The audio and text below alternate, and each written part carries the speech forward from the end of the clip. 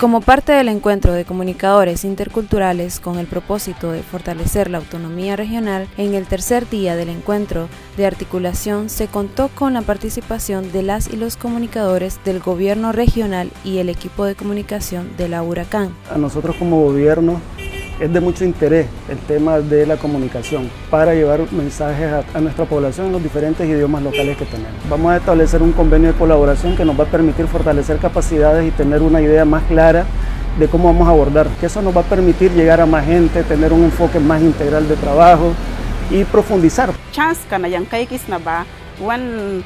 Em radio anul wan may sawil kan sa experience na niba yon pana pana sermon ya bara sermoni nin karew na niba kaulan taki wan tawan kara kau yam ni smal kaya or studi na niba bruhaya bara yan ba kulika wel na iwana na ha experience ka lan takrina bruhi tawan kira sermonize na paini kanani mairin an wait na ni was tawan kara bawal sermon ya wan tawan ka ain pain ka dukera kau studi na ni pain bruhi yabi ka dukera En este se presentaron los procesos e impactos desde el diseño gráfico intercultural, así como la realización de producciones audiovisuales con enfoque intercultural. Siempre es bueno adquirir nuevos conocimientos y eso fue lo que tuvimos el día de hoy.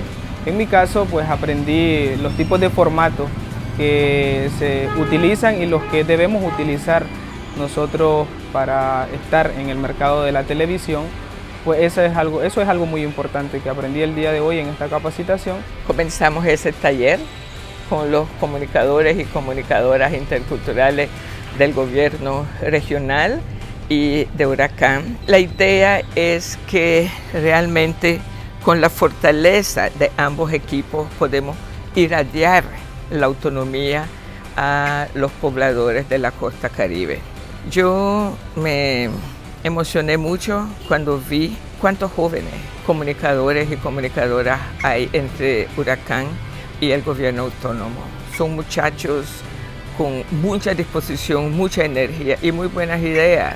Son creativos e innovadores. Ha sido un trabajo realmente ya de, años de venir buscando eh, cómo trabajar en conjunto el tema de nuestras comunidades indígenas sobre todo, ¿no? entender sus procesos, entender los conflictos para poder ver cómo vamos dándole solución y no solo en el aspecto educativo, sino en toda la integralidad. ¿no? En el caminar de la comunicación intercultural se materializan los sueños, aspiraciones y acompañamiento de los pueblos indígenas, afrodescendientes y mestizos de la costa caribe de Nicaragua. Es por ello que se realizó la presentación del plan de comunicación del VIH-Sida para aportar en la disminución de casos de la enfermedad desde la medicina tradicional bajo una estrategia comunicacional.